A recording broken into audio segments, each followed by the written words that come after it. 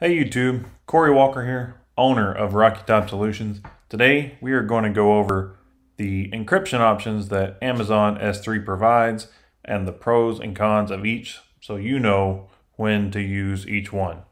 Let's get to it.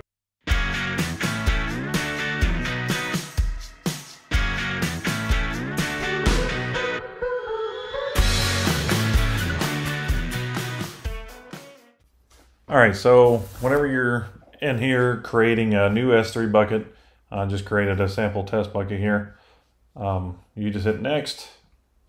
And if you look right down here under default encryption, you can check the box and the two main encryption options are the default AES 256. That is um, the default S3 encryption option. That's probably the best option for a lot of people and a lot of companies. Um, you don't have to have any special keys in Amazon KMS. Um, and also, KMS, each time you add an object or you retrieve an object from S3, if you're using KMS option, you have to pay one of the retrieval fees uh, or adds up for the retrieval um, pricing, which I will link to in the description below. Um, so it's not free. Each lookup and put will incur a lookup for that key in a KMS. And so if you're using a lot of puts and retrievals from S3, those prices can really add up pretty quick. So the AES 256 option does not um, require any kind of KMS lookup, so you don't incur any uh, costs whenever you put or retrieve using that option. Uh, however, using the KMS option, you can control more of when all the encryption keys are rotated um, revoked, anything like that. So you have a little bit more control over the security of the encrypt, encryption keys. So if security is a really big deal and the pricing is not such a big deal, KMS is the way to go. If you want security, but you're not really, really needing strict security and you're more price conscious, the AES 256 is the way to go.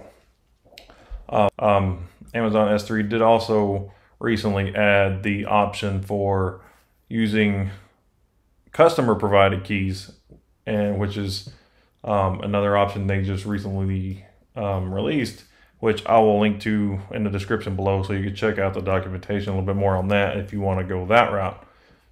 Um, and there is an option to also encrypt client side so encrypting before you send to S3 over the HTTP request, and then also decrypting after you get the data from uh, HTTP request.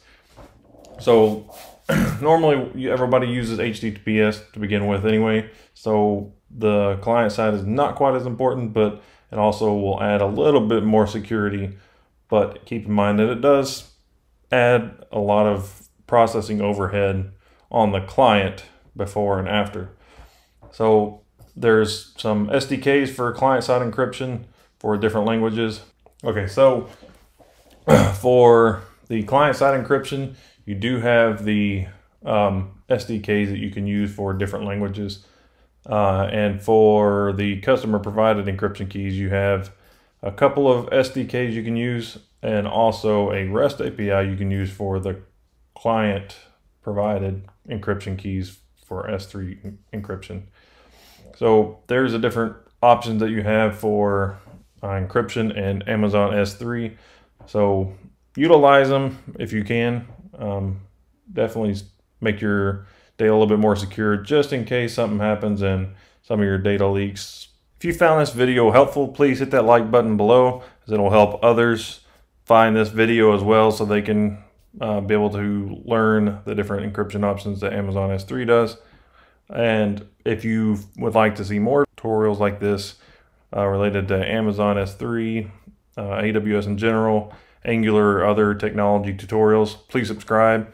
Um, I should be posting uh, roughly about every week for a new technology tutorial, so stay tuned for that. And we'll see you next time.